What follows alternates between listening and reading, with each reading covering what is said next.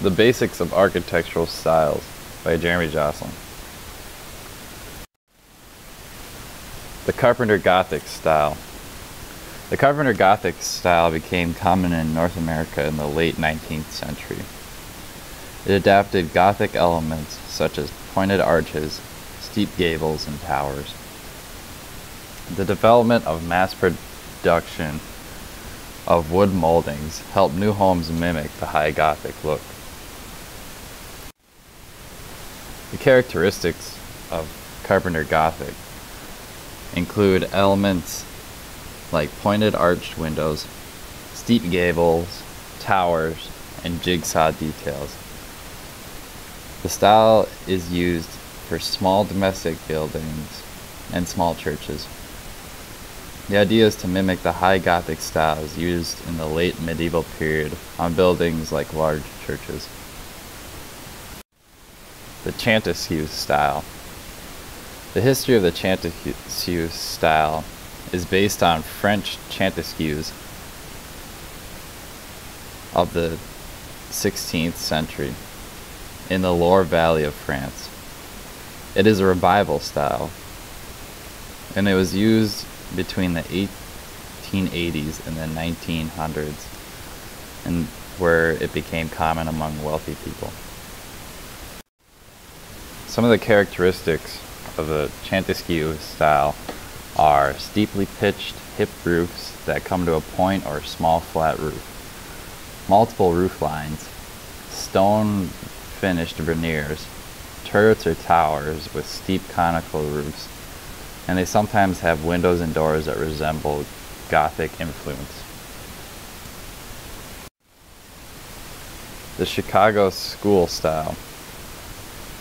Chicago School is a term that refers to skyscraper architecture during 1879 to 1910.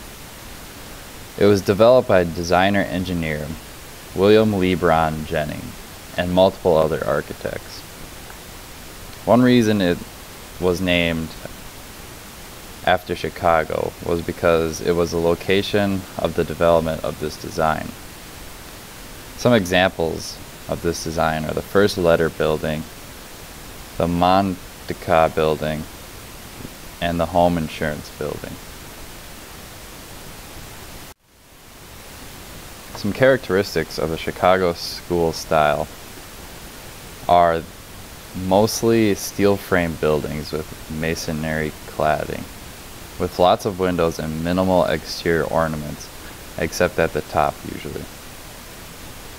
The Chicago window originated from these designs that allowed lots of natural light and ventilation.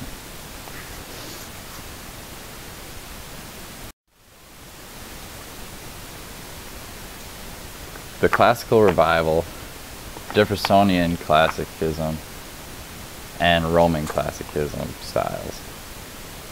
All the above are also known as a form of neoclassicism architecture.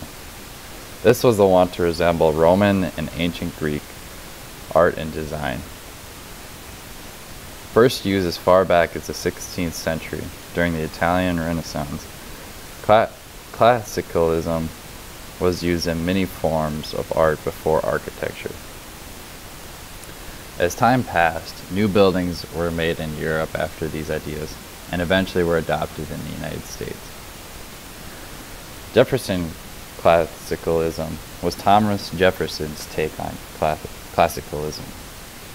He designed his own house, the Monticello building, uh, the buildings at University of Virginia that he founded, and other political friends' houses.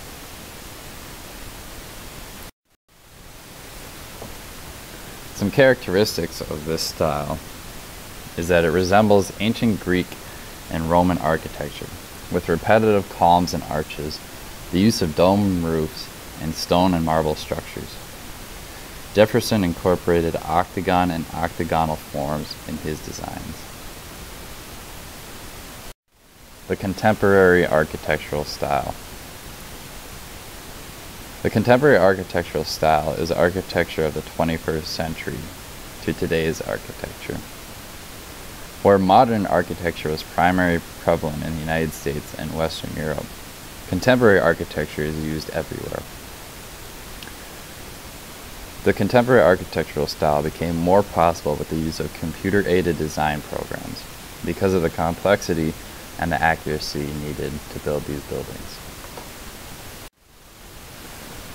Some characteristics of contemporary architectural styles are the use of complex modern art designs and the use of many different design styles. So there is no precise definition.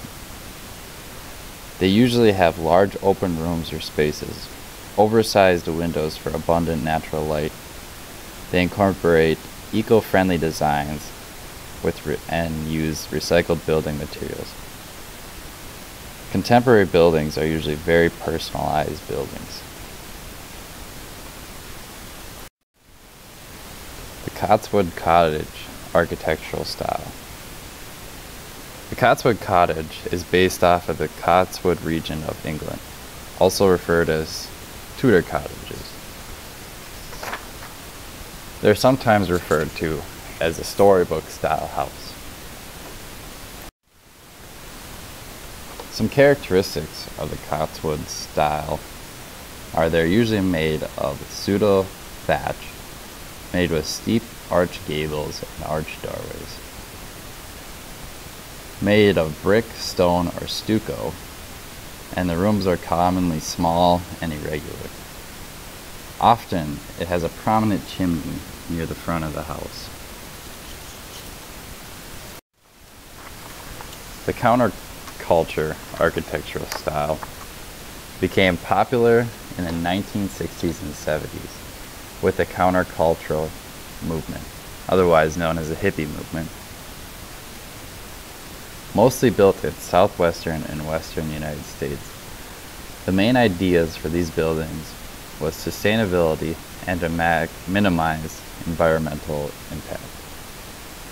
Some of the first countercultural buildings were first pioneered by Sim van der Ryn, Ian McHarg, and Brenda and Robert Vale. Some characteristics of the counterculture style are domes made of wood, steel, and glass. They usually use steel frames and glass and wood panels. Most countercultural styles usually only consisted of one room, except for larger domes with lofts and other stories.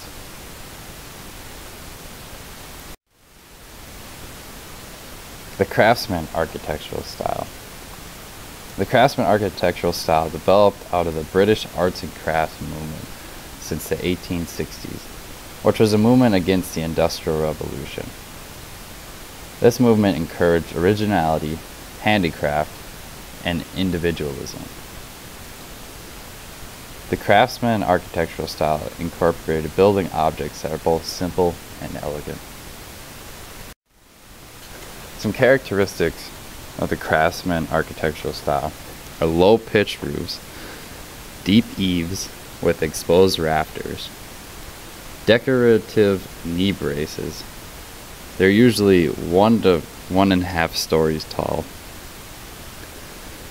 with built in cabinetry, large fireplaces, dormers, and many fine details, including things like hammered metalwork.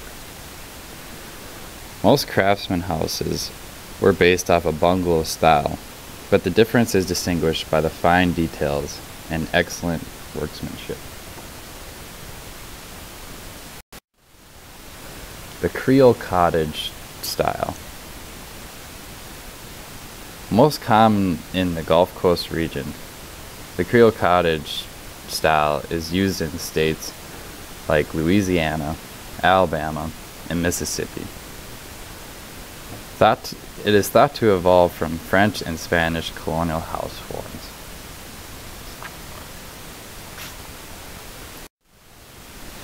Some characteristics of the Creole cottage architectural style are full front porches, high gabled roofs, parallel to the street, And some older styles often had doors that went out to the porch for multiple main rooms. They're often built up from the front property line too.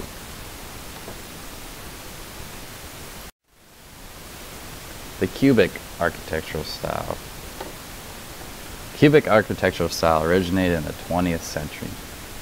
It is most common from 1995 to today and it was used during the Cubism movement. Characteristics of a cubis, cubic architectural style are that they are made to resemble basic geo geometric shapes like squares and very blocky designs. They're usually one to two stories tall, and they're built out of steel with large glass windows and other materials.